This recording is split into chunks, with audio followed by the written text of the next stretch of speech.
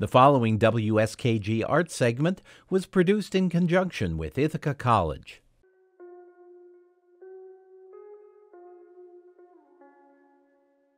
I'm Tatiana Malkin, and I'm a fine arts major from Bloomington, New Jersey. And when I was at orientation, one of the um, like orientation leaders asked like the whole group, they were like, what do you want to be? Like, what do you want to do? And the first kid that raised his hand was like, I want to be an inspiration.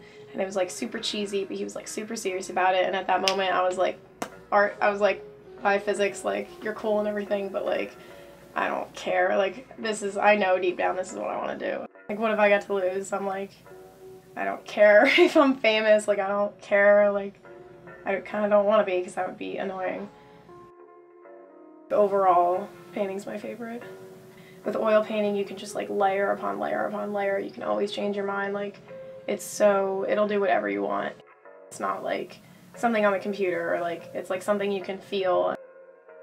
My pop-up's the one that I like drew with when I was little, like he always wanted to draw with me. And then my grandma on my mom's side does like really nice watercolors. When my dad passed away, it was just like I don't want to talk to anyone, like I just want to like get it out and like not talk about it. I just need to like feel things and like do things with my hands and like get it out that way. It was my only therapy. My mom stuck me in like so many therapy groups and like therapists and I was just like she like everyone like wanted to talk to me about it and I was like I don't like that. I have nothing to say.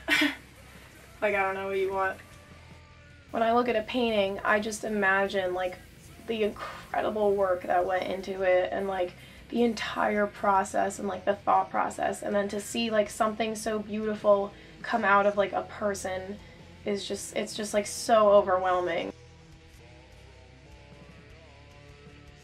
So I'll set things up, I'll like put a record on or like put my iTunes on and then I make tea.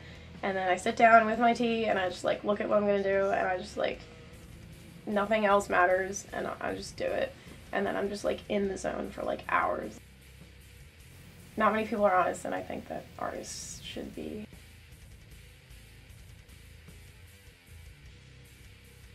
If you know of an individual or group who should be profiled on a WSKG art segment, please send an email to wskgart at wskg.org.